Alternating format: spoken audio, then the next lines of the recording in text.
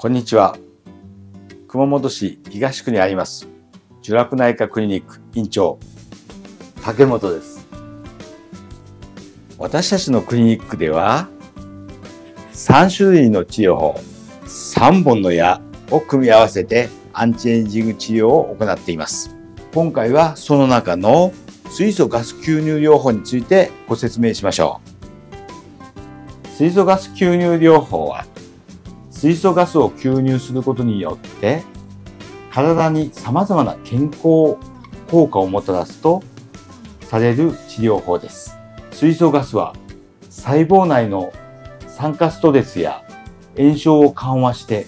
ミトコンドリア機能の改善など様々な生理学的な作用が報告されています。一般的に水素ガスは特別な機器を使用して生成し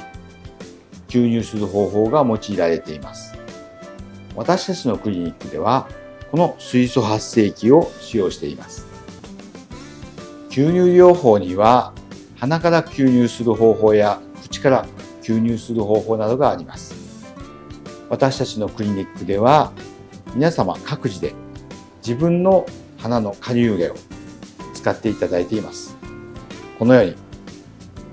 鼻に装着して耳にかけてそして固定して。そしてスイッチをします。水素ガス吸入療法の期間や頻度は症状や目的によって異なりますが私たちのクリニックでは30分あるいは1時間という短時間の吸入をお勧めしております。水素ガス吸入療法による効果については動物実験や初期の臨床試験において炎症や酸化ストレス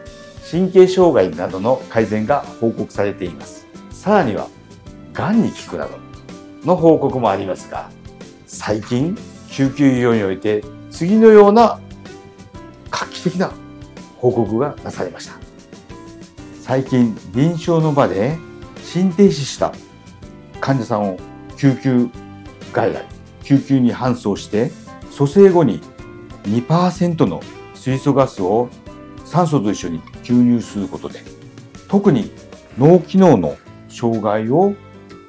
改善できることが報告されてきました。脳の虚血再還流の時に生成する活性酸素種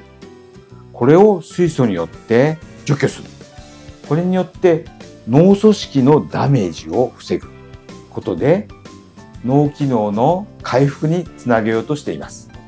ちなみに私たちのクリニックでご提供している水素ガス生成機械による吸入ですけども最大で、まあ、呼吸法によるんですけども4%の水素を加えております。ですから短時間この水素を吸入することでミトコンドリアの機能を回復しこれをアンチエイジングにつなげようとしているところです。どうぞお試しください。